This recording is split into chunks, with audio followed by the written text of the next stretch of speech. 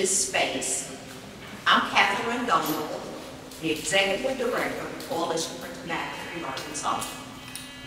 On behalf of our Board of Directors, I welcome you to this conference to recognize today, November 16th, as the National Great American Smokeout Day. It occurs on the third Thursday in November annually.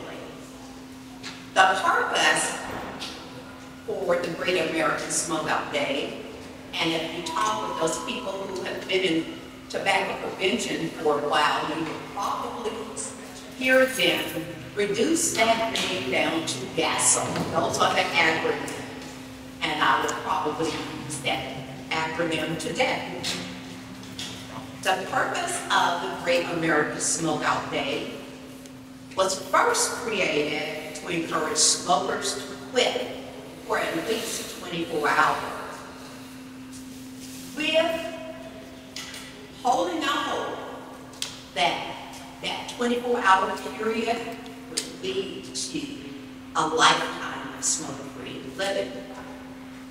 And the reason we hope that, because we know tobacco use is the single largest preventable cause of death and pre- premature death disease in the United States.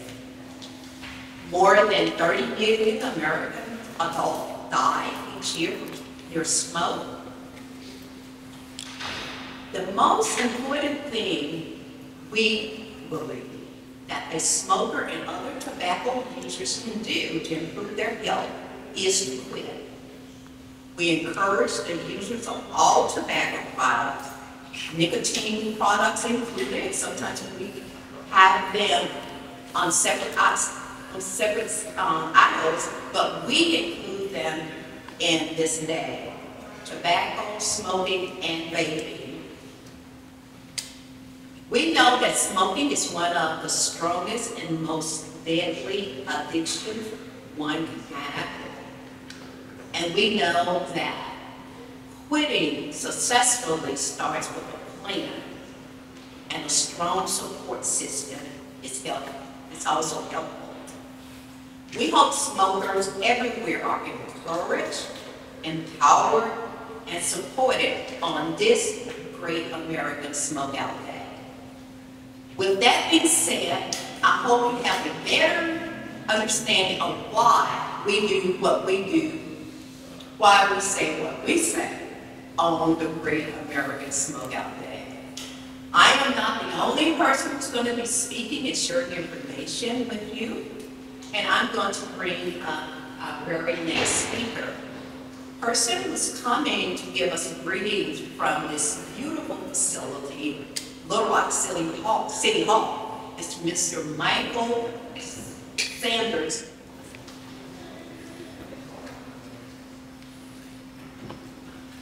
Good morning. Good Morning. I'm Michael Sanders, Assistant Director of the Department of Community Programs, where I head up the Office of Neighborhood Safety.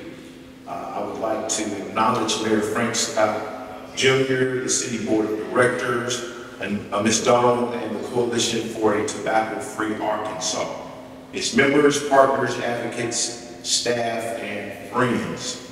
Uh, It's a pleasure to be a partner uh, with the coalition in getting the word out about uh, tobacco use uh, and its effects. At this time, I will read a proclamation uh, from Mayor Frank Scott Jr. And it reads, Proclamation, City of Little Rock, Arkansas. Know ye all people by these present greetings. Whereas in 1971, Arthur P. Mullaney asked smokers in Randolph, Massachusetts to give up cigarettes for one day and donate the money they would have spent on cigarettes to a high school scholarship fund. And whereas this idea soon spread throughout the country, and in 1977, the American Cancer Society organized the first Great American Smokeout. And whereas the Great American Smokeout is held on the third Thursday of November to encourage adults to quit smoking and to help young people understand the long-lasting negative consequences of smoking. And whereas many public establishments and workplaces are now smoke-free to product, protect non-smokers and support people attempting to quit. And whereas the CDC reported nearly 40 million US adults still smoke cigarettes and about 4.7 million middle and high school students use at least one tobacco product, including e-cigarettes. And whereas it is estimated that each year nearly half a million Americans die prematurely of smoking or exposure to secondhand smoke. Now, therefore, I, Frank Scott Jr., Mayor of the City of Little Rock, Arkansas, hereby proclaim November 16, 2023 as Great American Smokeout Day in Little Rock and call upon all residents to join me in raising awareness about the danger of smoking and vaping and to take this opportunity to practice a healthy lifestyle, setting the example for our loved ones.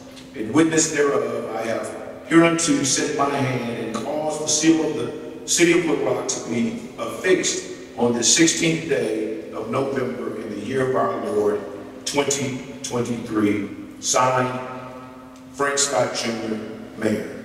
Thank you.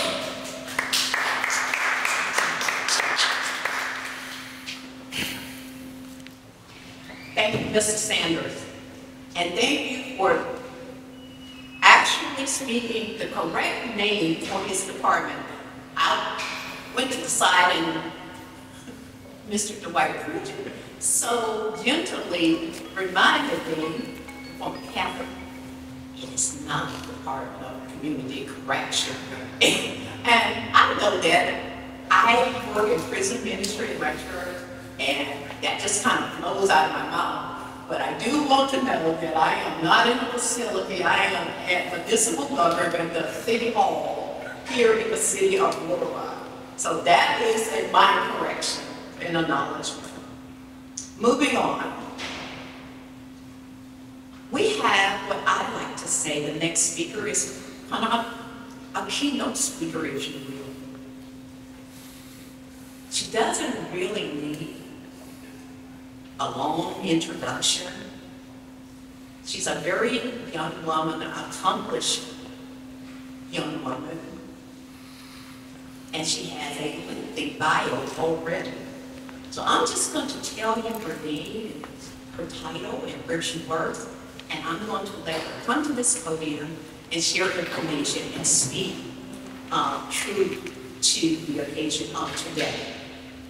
I would like to introduce you to Dr. Rena Jones, PhD. She's the assistant, she is an assistant professor at the University of Arkansas for Medical Sciences College of Public Health. At this time, I welcome Dr. Jones to the podium.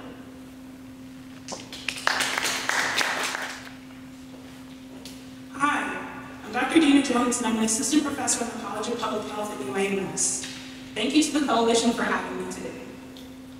Arkansas has one of the highest smoking rates in the country, and one in five Arkansans smoke cigarettes. So it's no surprise that Arkansas also has some of the highest rates of diseases caused by tobacco, like cancer and cardiovascular disease. The high smoking rate in Arkansas reflects a lot of the social and economic conditions that our Arkansans are facing. If you ask, why do people smoke?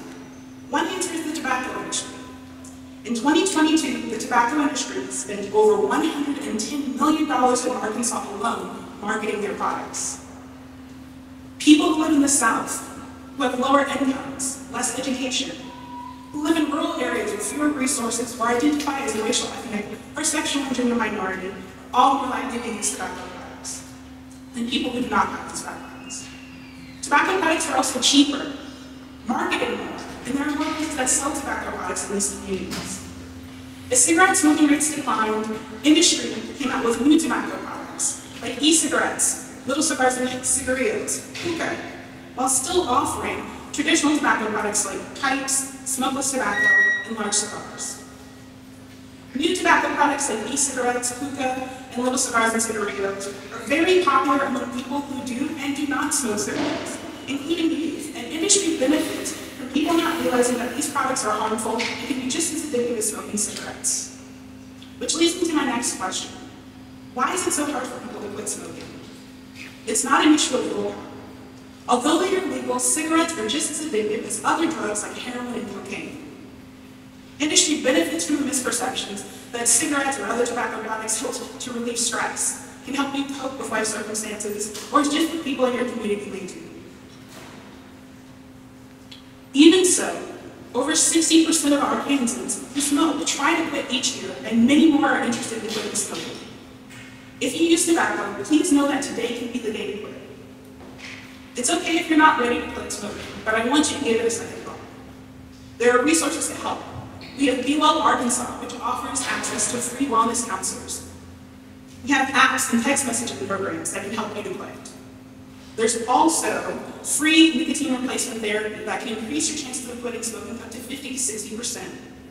Websites like smokefree.gov can also help you to develop a plan to quit smoking. If you don't smoke or use a tobacco product, but you have a loved one or someone else in your life, maybe a friend who does, You not to judge them and instead try to offer encouragement and support. They need it now more than ever when they're trying to think about quitting. Please know that there are others here in Arkansas who are with you to end the harms of tobacco here in this great state.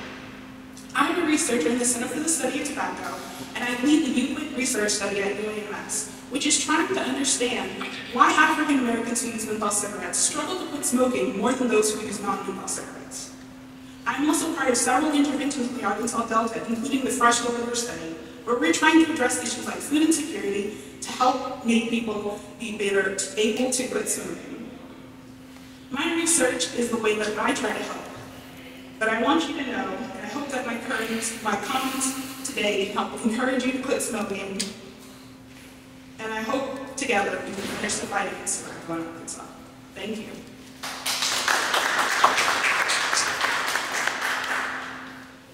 Thank you, Dr. Jones.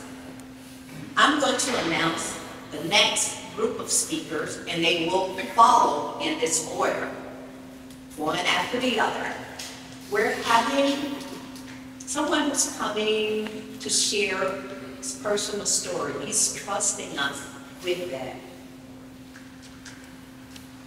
I can recall more than probably seven years ago, on a day called the Great American Smokeout Day, right here in this rotunda, the next speaker came to us as a tobacco user, and he was going to speak to you with his personal testimony, sharing he's no longer that tobacco user, and that is going to be Mr. Perry Campbell. Following Mr. Campbell with a personal testimony, moving from a smoker to a non-smoker is Mr. Dwight Pridgen. And following Mr. Pridgen, we have a personal testimonial from Ms. Shalonda Michelle, who's going to talk about the importance of lung health. And you will understand more once you hear her story. Following those speakers with their personal testimonials, we will have a call to action. You heard a great call to action from Dr. Jones, but we have another who is well able, who's going to come with a call to action, um, directly, um, her remarks to tobacco users, but as supporters, non-smokers, we are also encouraged to take action by standing in the gap with those individuals who use tobacco. And person who's going to do that for us is Ms. Sandra Bullitt. And following Ms. Bullitt, we have another proclamation is going to be read, not another Great American Smokeout proclamation, but this proclamation is pertaining specifically to a flavored tobacco product, and that flavor being um, menthol. And you will hear from Ms. Wonder Lowe with the Arkansas Cancer um, Coalition. So at this time, I welcome Mr. Perry Campbell to the podium. Perry. Uh, My name is Perry Pennell. I live in the city of Little Rock, Fleet Park. Thank you, Ms. Ms. Dawn, for inviting me back to share my testimony. As someone that has been quit smoking for seven years ago, I wanted to share some thoughts about my journey. toward a smoke-free lifestyle. This is intended not to preach or judge anyone. We all have our past and our choices to make it come to our well-being. However, having experienced the transition from smoking to living smoke-free, I feel compelled to share the positive impact it has had on my life. Quit- Quitting smoking was for sure one of the best decisions I could ever make. It was challenging, no doubt. But the benefits have been truly remarkable. I've experienced improvement in health, increased energy levels, and overall sense of well-being. Health is our most precious asset, and by quitting smoking, we can take significant strides toward safeguarding it. Smoking not only affects our, our own well-being, but also impacts those around us smoke. I understand that quitting smoking is a personal journey, and each individual path will be unique. It may take multiple attempts, and it's okay to stumble along the way. In fact, I share a story about a friend being noted, who I have known for seven years. I met him in the beginning of my quitting journey. He would come to my automotive shop, and I would tell him, you can't smoke in my shop. He called me last week and said, he's been smoke-free for three weeks. I'm proud of him, and I'll be with him along his journey and supporting him. That's what matters, support. It's determined to keep trying to support what we offer one another. As a City of Little Rock team, we can create an environment that empowers and encourages each other to make healthier choices. Let's embrace a smoke-free future and unlock many benefits that await us, wishing you all good health and happiness. My closing remarks, if I can do it, you can too. Good morning. My name is Dwight Pritchard. I'm you guys before I. My story is gonna be totally different from Mr. Campbell's story. I'm the reentry coordinator now with the city of Little Rock. I've been the reentry coordinator since 2018. I was once the tobacco education specialist for the city of Little Rock. And before I took that position, I must admit, I was a smoker. But I always remember, when I'm also a convicted felon, so it ties a lot to my speech on the say today. I always remember, I made myself a promise to the Lord when I was in prison. If I ever get an opportunity to serve his people, I would serve the best of my ability. So when I transferred to the Department of Community Programs, I eventually got a tobacco job. I knew then, for me speaking to Eagles about tobacco, and I was still smoking, I, I, I consider myself to be a hypocrite. So I can fairly say today it's been over 2,000 some days since I smoked a cigarette. I think that's important because uh, cigarette is a disease, like Mr. Always said. Somewhere or another, 480,000 people die of some smoking-related disease. It have killed more than suicides, AIDS, murders, car accidents, and alarm. I ask you guys that smoke, just take a leap of faith, like I did, 2015. That's the reason why we have this prop here, to explain to you, it's to only take 24 hours to take a chance. I hope my testimony that I'm giving today will incite someone to take the pledge. Thank you very much. Greetings to all of you. You so much for being here. And thank you to all of those that quit smoking. That is amazing.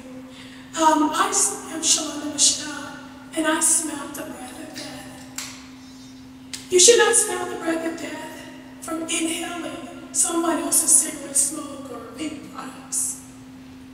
I survived 33 treatments of radiation to my head and neck area, and as a mother of four, I'll tell you that's scary. When we're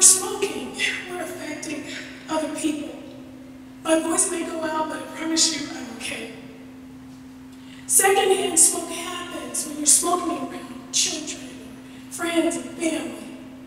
According to the World Health Organization, over 880,000 people died worldwide from secondhand smoke-related illnesses.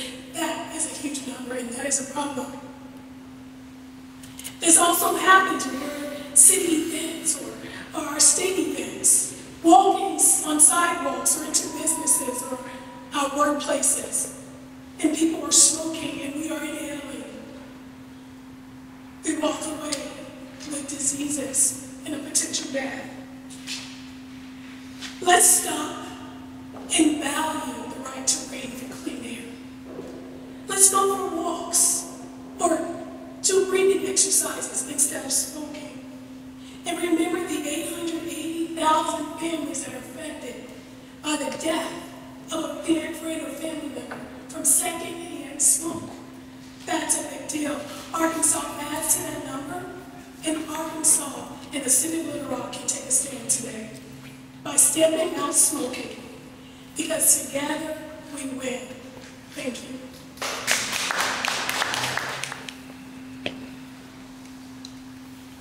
Good morning, everyone.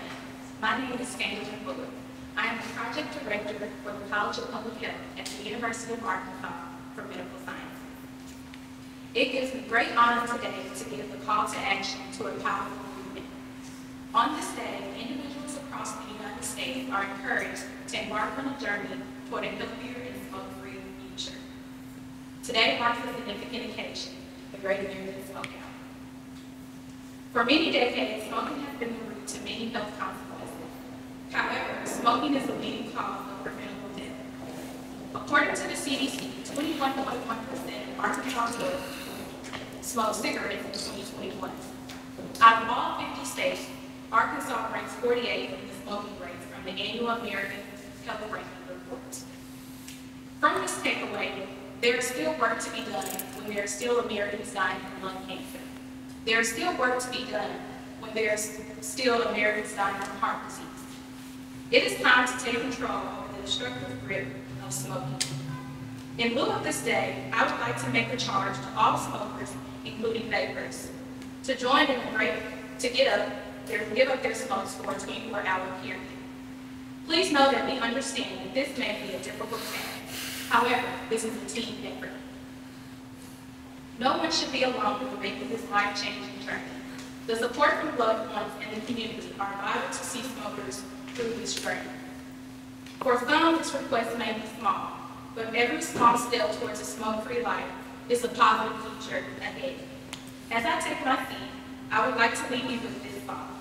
This is the day to do it for your family. This is the day to do it for your friends.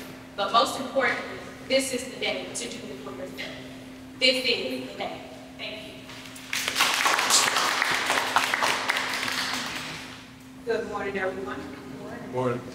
First, I'd like to give a great big thank you to Ms. Catherine Donald and all tobacco advocates for the work that they do in helping our community. I also want to thank my small but very powerful No Menthol Committee, No Menthol Arkansas Committee, who helped me put all this together.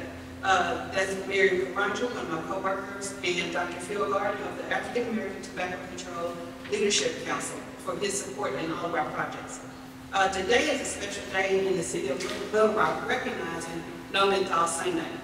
No Menthol Sunday has been recognized normally in the month of May, but we're doing, it so nice we're doing it twice. So we'll be recognizing not only in just May, but we also recognize in November.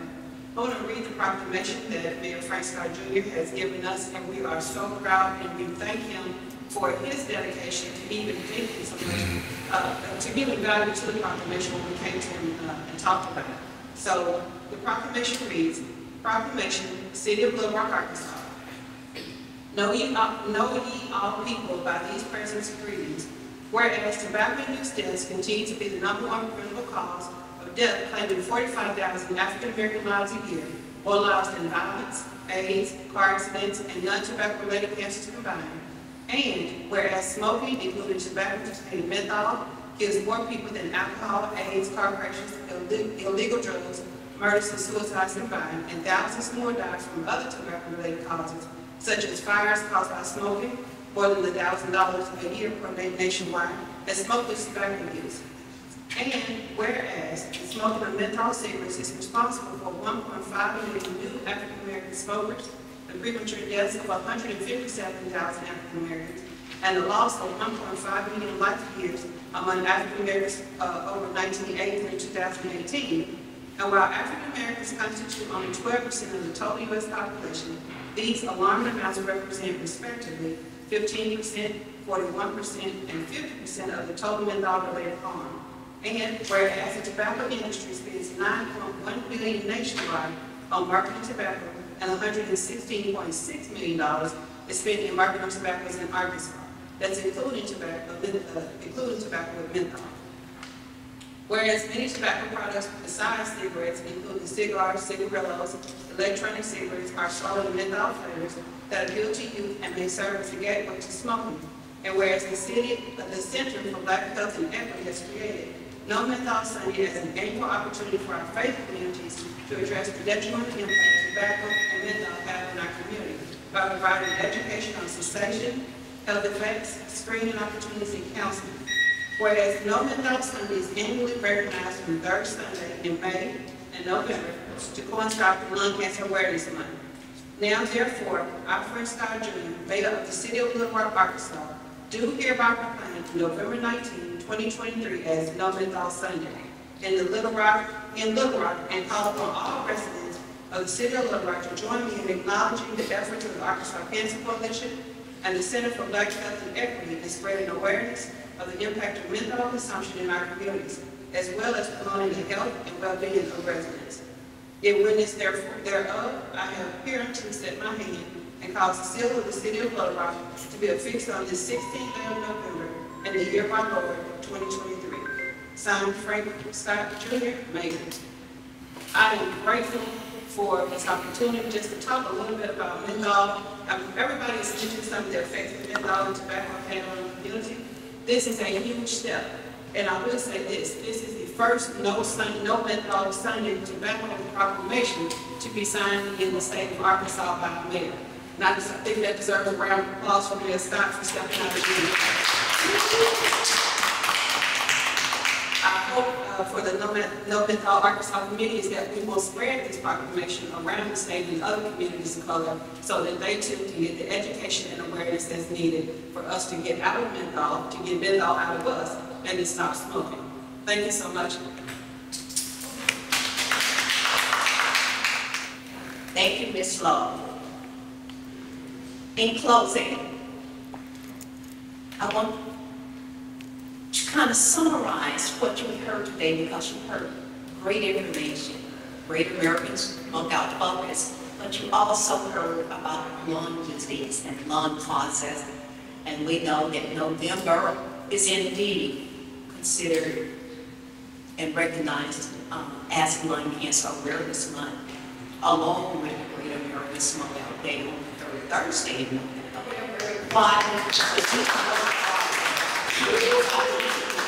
And let you know that I really appreciate you. So we're going to that's um, the end of my remarks, but this is a time